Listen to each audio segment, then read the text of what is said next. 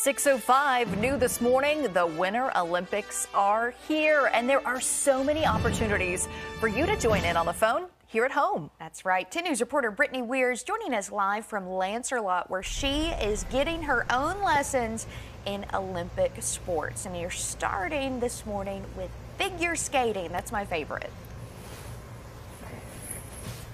Yes, I'm back on the ice uh, with the skates on. We tried curling, but now we're going to go into figure skating, and I'm joined here with Megan, and she's going to tell us all about, you know, herself and how her journey with skating, and then also maybe teach me a little bit, but I need some help. So first off, when did you start with uh, figure skating? I started when I was five, um, a long, long time ago, and pretty much skated up until I went to high school, took a few years off, Got back into skating when I went to college at Ohio University, did synchronized figure skating there. Wow. Took a couple years off, and then two years ago moved down here from Columbus, Ohio, and became ice skating director, and I've been skating ever since.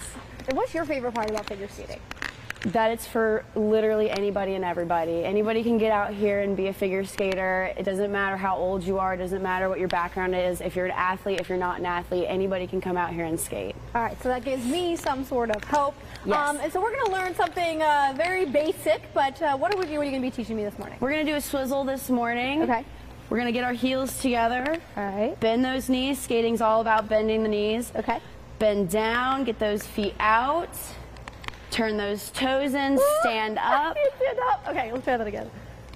And just like that? Perfect. Okay. Perfect swizzle. All right, there we go.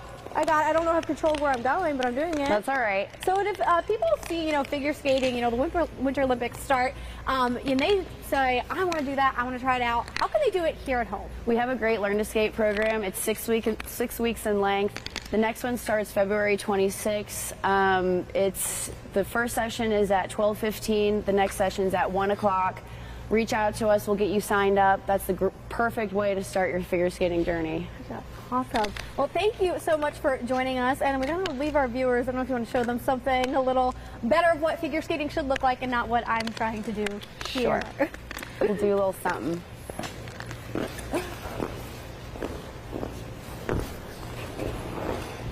Oh my gosh. You already make it look so good. All right, if you guys want any of that information, it's going to be on our website, WSLS.com. Reporting live from Lancerlot for EJ 10 News, working for you. Yay!